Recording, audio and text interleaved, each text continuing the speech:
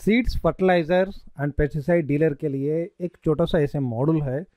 इससे क्या होगा उसका बिज़नेस जो रहता है ना सो वो डीलिंग करता है सीड्स, फर्टिलाइज़र, को कोई बिज़नेस का सो वो सभी डीलिंग करते रहते हैं।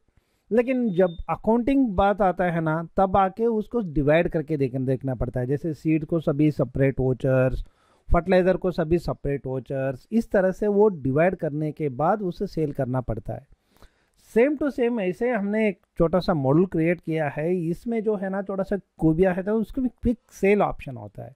मतलब जो डीलर को है ना, जब एंट्री करते वक्त एक ऑप्शन मिलता है, वहाँ पे वो एंट्री सभी करता है सीड्स फर्टिलाइज़र और पेस्टिसाइड जैसे वो एंट्री करने के बाद उसे सेव करता है सो ऑटोमेटिकली टैली डिसाइड कर देता है, कौन सा वोचर किसमें जाना है फीड्स में जाना है या फर्टिलाइज़र में जाना है या पेस्टिसाइड में जाना है।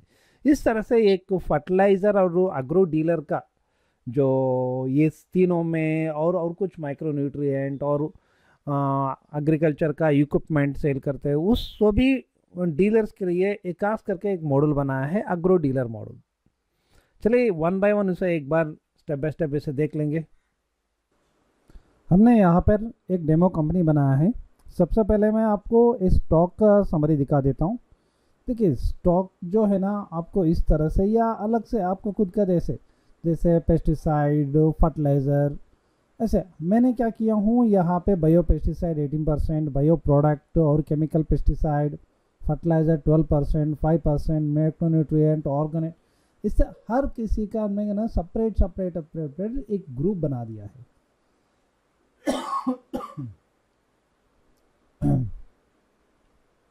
इस ग्रुप में अंदर जो हर एक स्टॉक आइटम है सो उसका यूनिट ऑफ़ मेजर यूनिट हमने रख दिया है।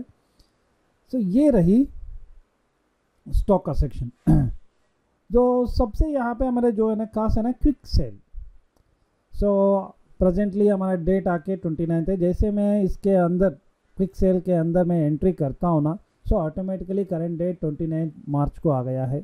सो करंट डेट को ऑटोमेटिकली सेट हो जाता है। और यहाँ आने के बाद मैं एक एक प्रोडक्ट को सेलेक्ट करता हूँ। सर जैसे देखिए पहले वाला लिया मैंने। सो so, तुरंत ही मुझे पूछेगा ये कौन सा गोडाउन से लेना है? सो so, ये एक स्पेशल फॉर्म है तो एक ही स्क्रीन के अंदर सभी आपको दिख जाएगा।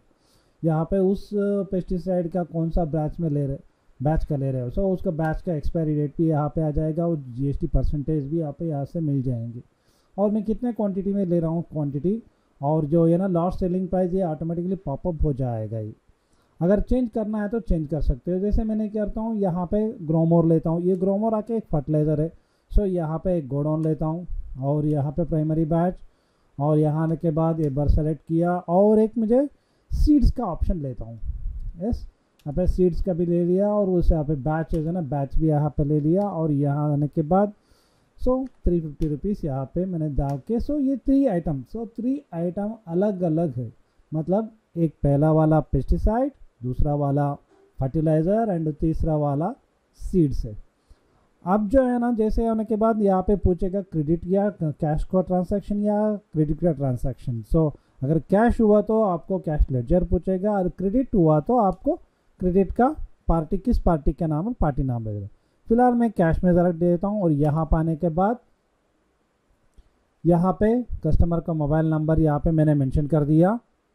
जैसे मेरे नाम मेरे नंबर डाल देता हूँ। इसो ये यहाँ पे कई कस्टमर का जो है ना ऑलरेडी स्टोर हुआ रहता है। सो इसका जो वीडियो है ना, मैं अगले पार्ट में दिखा देता हूँ। और जैसे मैंने सेलेक्ट करने के बाद आधार कार्ड क्या है, यहाँ पे मेरा टू थाउज़ेंड फिफ्टी रुपीज़ यहाँ पर मिल गया है।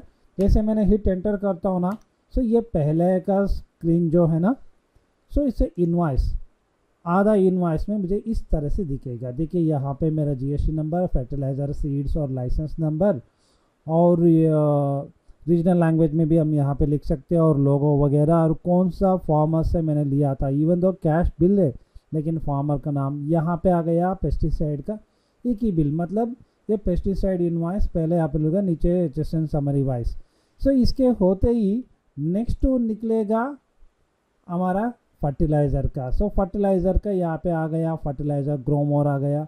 और उसके होने के बाद सीड्स वाला आ गया। सो देखिए सीड्स वाला। यहाँ पे सीड का ज़ीरो परसेंट है। सो इसका टैक्स ही कैलकुलेशन नहीं हुआ। इस तरह से जो क्विक सेल है ना, हर किसी का सेपरेट सेपरेट बिल निकाल के डाल देते हैं। ऐसे ही हमने डे बुक में जाके देखने के बाद आपको मिलेगा कि सेपरेट सेपरेट वोचर्स बन गए हैं। देखिए फर्टिलाइज़र का फर्टिलाइज़र अलग बन गया पेस्टिसाइड का पेस्टिसाइड अलग बन गया, और सीड का नीचे C G S T H G S T का भी सेपरेट सेपरेट डिवाइड हो गया है। इस तरह से ये क्विक से लाके आपको सिंगल स्क्रीन का ट्रांसैक्शन पे अलग अलग वोचर क्रिएट करके दे देता है।